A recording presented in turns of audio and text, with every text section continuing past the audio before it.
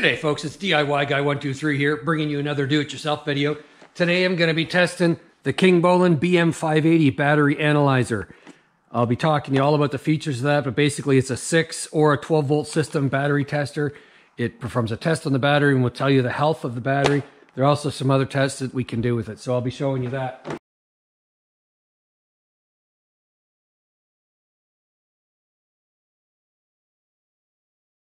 Okay, so the first thing we're going to do is hook up the positive and negative leads onto this battery tester. And uh, I think it's pretty dark. We're going to have to move inside. So here's the main menu. You hook up the battery terminals, and this is what you're presented with. You have a check option, waveform, playback, records, setup, multimeter. All right, so I want to first do a check on this battery, check the voltage on it. So let's do a waveform check. And it's showing, it's going to graph that data. It's showing it's currently 13.48 volts on there. Let's see what my voltmeter says. Okay, so I've got a voltmeter from way back in my college days. So what does it say for voltage here? It's showing 13.45. Okay, and this is currently showing 13.47. So I think that is incredible consistency between the two tools. Okay, so 13 and a half volts. This battery did come off of the charger 20 minutes ago or so. You want to take it off the charger for a few minutes before you do this test, maybe 10 or 15, so that the, the voltage settles to where it would be a stable voltage. There are ways to record and review those recordings. Let's see if we can do that. Last record. Oh, there's the result. So it recorded the last result. Nice. Okay, we'll back out of there.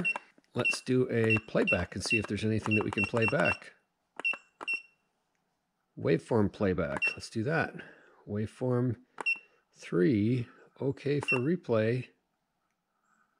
Oh, okay. And we're going to go back into the battery check menu right there. And it's a 12 volt battery. And I want to do an out of vehicle test. And let's call this a regular flooded battery. I think because it has these caps on the top that, that there's fluid in there. Yeah, you can hear it slosh around.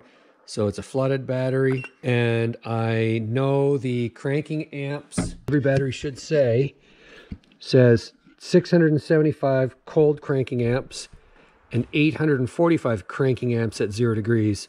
And uh, just to point out right now, it is about zero degrees right now. Uh, let's go with cranking amps. And the rating is 675. So I'll select that. And it's telling me the battery is 85% good. Well, this is a battery that's uh, it's three years old, but it's never been in a vehicle or it's actually a boat battery, but it's never been used. So I'm not surprised that it's good. It shows 85% um, SOH, and I forget what that stands for, but I think it's health, like 85% health. Shows the resistance 4.14 milliohms and it claims the cold cranking amps were measured at 620. I don't know how it does that because it certainly didn't draw 620 amps through this little wire. And the voltage is 13.44. Okay, so this one shows it as uh, good, and we will back out of here.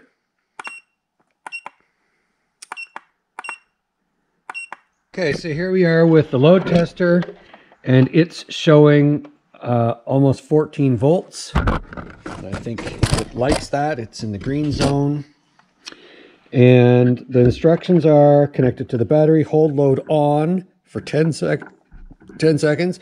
Then with load on, read multimeter. So I'm going to hold the load on, and after 10 seconds, I'll read the reading.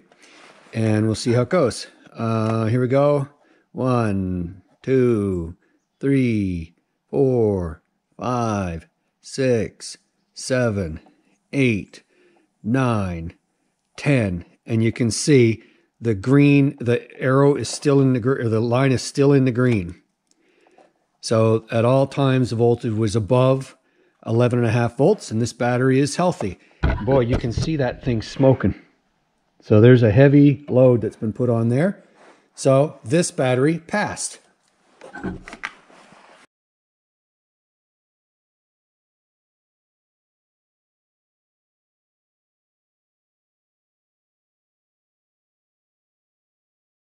Here we are with another battery. This one is an old battery. It is rated at 985 cranking amps. And we'll do a check, and we'll do a 12 volt system, and we'll do an out of vehicle test. And it's a regular flooded battery. And I know the cranking amps, so that's the rating that I'll put in there. And it's rated at 985 cranking amps. So we'll run that up. Okay, there's 985 cranking amps we'll hit OK. And now it's running the test and it recommends replacement. It says this battery is only at 57% health. So we will take note of that. And our original load tester has been cooling off. Okay, so we're to do our load test again. I'm going to put the load on, and after 10 seconds, we'll see where it re reads in here. And there we go. One, two, three, four, five, six, seven, eight, nine, ten. Okay, weird. Oh, I'm supposed to keep it on while we're reading. The uh, there was a little click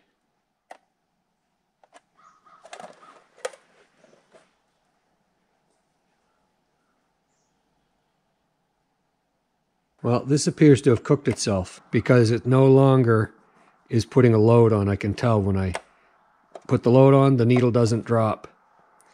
And I actually heard a little kind of like a click or like a snappy sound in here. So, yeah, I think this is toast. I borrowed it to do this test, so it looks like I'm buying a new one.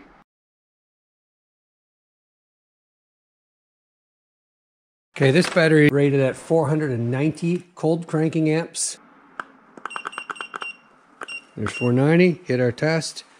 Boom, health of 41%. Not a healthy battery.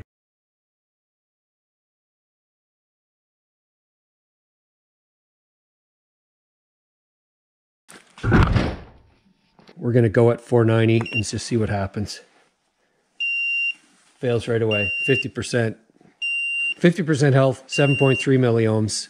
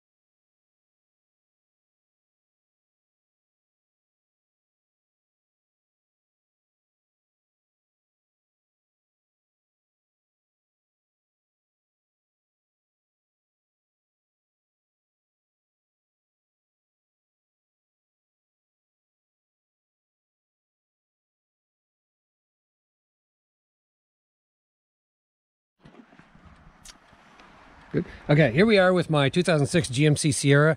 I have a battery that's only two years old and it has three year free replacement warranty. So it's still under warranty, which is great.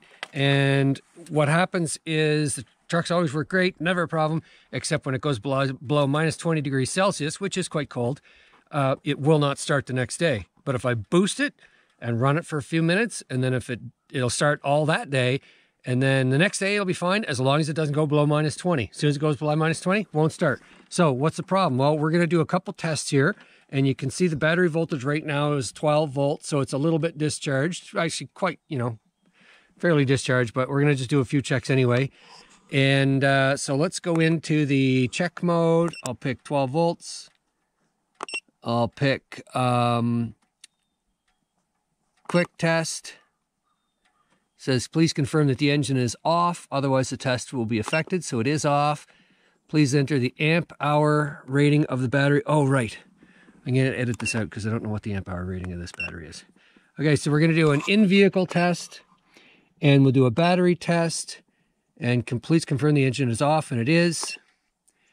And it's telling it's asking me for the type. It's a regular flooded battery. And if i look at the cold cranking amps of this one it's shown as 800 right there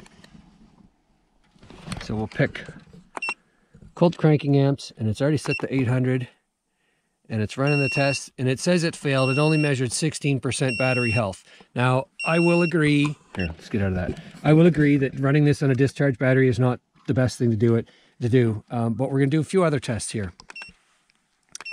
And let's go into the startup test. This is pretty neat. So your battery should never really go below 10 volts under load. So I'll pick startup test. It says turn the engine off before entering the test. It is off. Now it says to start the engine. You're gonna watch there. And also if you can kind of get some of that in there too, that'd be good. So what it's gonna do as I start it is it's gonna measure the lowest voltage that it sees on the battery terminals and how long it takes to start.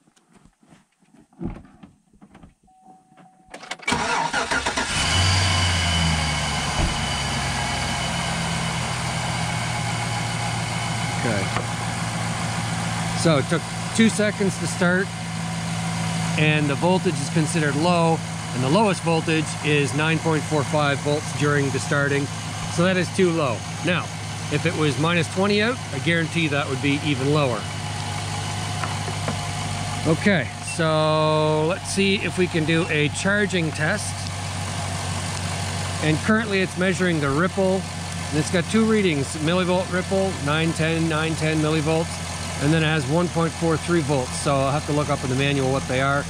And now it's running a test and it tells me to run the engine from 2500 to 3500 RPMs and then press OK button. So what I'm gonna do, I'll, I'll do that. I'll set it at 25 and you, you press the OK. Okay. And then keep an eye on the screen and tell me, tell me what it says. I've never done this before. All right.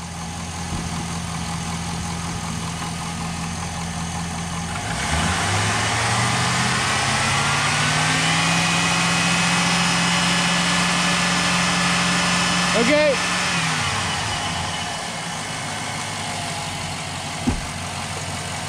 What does it say? It said loaded at 4.3, 14.3, and unloaded at 14 and a half. Ripple is normal. Okay, so it says that the charging test is normal. The charging voltage at 14.7 is all right. We're gonna let that run for a bit to see if that climbs. Hard to see that screen. Yeah, it is. Yeah. Probably better if we pull this off too. It's because we got a really bright thing. Yeah. There. I don't normally do that, No. but this thing's cost like 19 bucks, so it's coming up. Wait. If we could angle it up so you're the reflection, that would be good. Like more like that. From my point of view, I think that helps. in-vehicle test.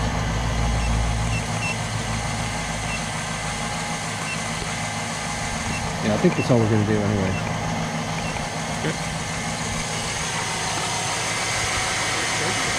It seems high. It shouldn't be really more than 14.8, I wouldn't think. I wonder if I've destroyed the battery by overcharging. It's two and a half. Okay, so I charged this battery up for quite a long time, got it fully charged, ran the test, and this battery test shows 43% health. So it's beeping at me saying the battery is no good. So I'm actually predicting it's bad because of an overcharging condition.